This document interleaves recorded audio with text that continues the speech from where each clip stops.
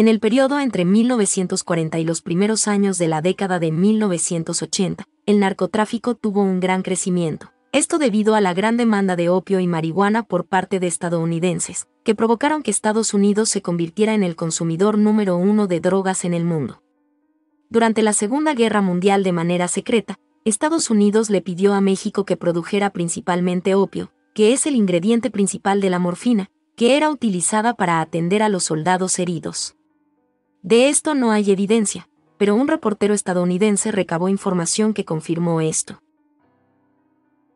El consumo de la morfina provocó que muchos soldados estadounidenses se volvieran adictos a la heroína y a la morfina. Se estimaba que en Estados Unidos existían entre 60.000 y 90.000 adictos.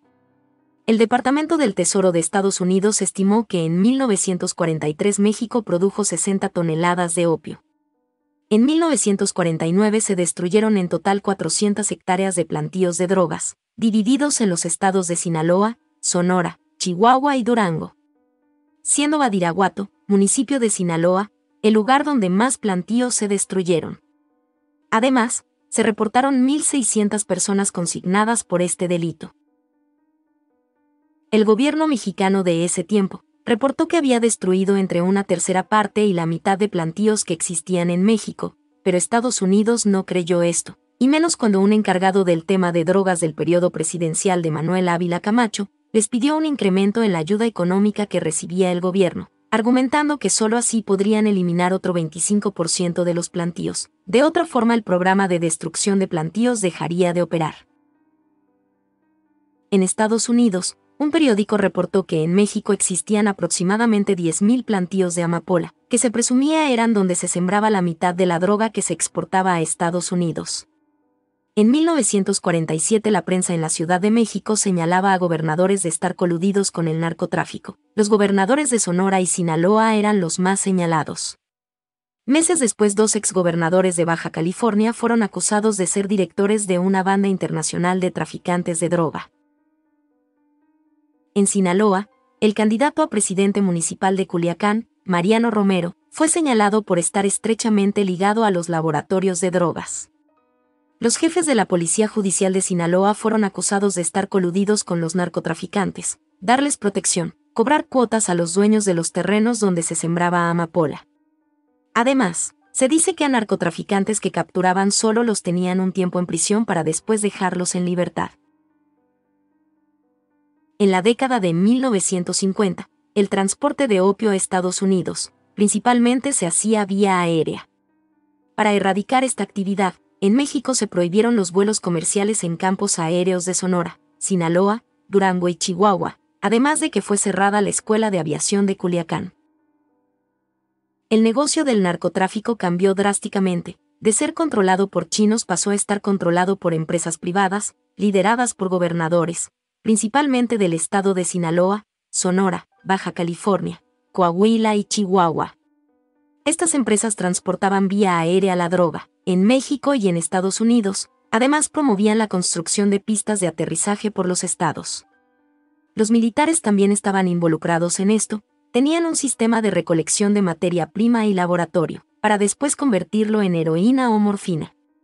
La existencia de laboratorios era algo nuevo, probablemente pertenecían a las personas adineradas o a las empresas privadas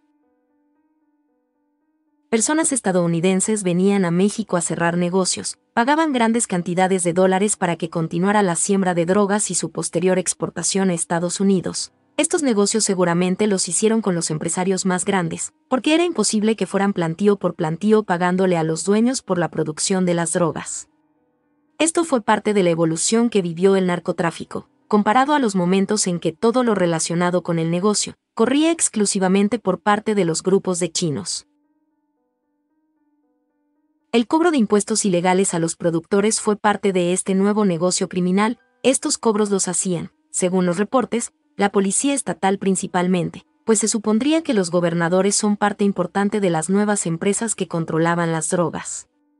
En la cultura de Sinaloa la economía ilegal y el narcotráfico de heroína y marihuana se tornó como algo normalizado, en esto participaban todo tipo de personas, sin importar la clase social o el nivel educativo la economía del opio fue defendida abiertamente por un procurador de justicia de Sinaloa, quien afirmó que era de interés nacional mantenerla en lugar de combatirla. La siguiente droga que se popularizó en la década de los 60 fue la marihuana. En los años 60, el consumo de marihuana aumentó en los Estados Unidos debido al contexto que estaba viviendo ese país. La popularidad de la marihuana se convirtió en una cultura comercial de la droga, en la que el uso de drogas ilegales era glorificado en la televisión, el rock and roll y las películas. En 1979, 11% de los estudiantes de último año de preparatoria fumaban marihuana todos los días, un porcentaje que había triplicado en tres años. Debido al incremento de esta droga, el narcotráfico en México debía acaparar este mercado. No es fácil saber cuál era la cantidad que se produjo para satisfacer la demanda. En 1979 la cantidad de personas que consumía esta droga estaba compuesto por aproximadamente 30 millones de fumadores, mismos que consumían 3.660 toneladas de marihuana anualmente. Si México suministraba tres cuartas partes del mercado estadounidense, se estimaba que México había exportado alrededor de 2.750 toneladas de marihuana más la cantidad incautada en la frontera. El total era de unas 3.000 toneladas al año aproximadamente. El aumento en la demanda de drogas de la juventud estadounidense tuvo un impacto en México al aumentar la producción de drogas en el país, especialmente en Sinaloa, Durango, Chihuahua y se le sumaban otros estados de la República. La pobreza extrema y la ausencia de instituciones del Estado en el campo mexicano contribuyeron a la incorporación de familias campesinas en la producción de marihuana ilegal. Los decomisos de cultivos y cargamentos de marihuana por las autoridades mostraban cuánto había crecido la producción de marihuana, la existencia de plantíos gigantes se hacía más común, por ejemplo, mil hectáreas en Coahuila. El transporte de la droga también tenía que cambiar. Las 3.000 toneladas al año que se necesitaban mover hacia Estados Unidos ocasionaba que fuera insuficiente el transporte aéreo, porque era necesario transportar aproximadamente 8 toneladas diarias, para esto fue necesario el uso de automóviles con compartimentos ocultos, túneles, personas poco sospechosas, que pasaban pequeñas cantidades de marihuana por las fronteras y era entregada en Estados Unidos. Entre los años de 1950 y 1980 fueron desapareciendo los jefes que controlaban el narcotráfico. Los cambios en las políticas de seguridad provocaba que fuera más difícil para los políticos manejar esta industria. A partir de esto fueron apareciendo otros narcotraficantes, para formar grupos criminales, que hoy conocemos como cárteles. Sinaloa fue el estado que más narcotraficantes aportaba a estos grupos, siendo la federación y el cártel nacional más poderoso. Lo interesante es saber cómo es que estos grupos tenían los recursos para poder hacerse cargo de lo relacionado con la producción y transporte de drogas a Estados Unidos y México pero esto será materia para la siguiente parte de la serie de videos relacionados con la historia del narcotráfico en México.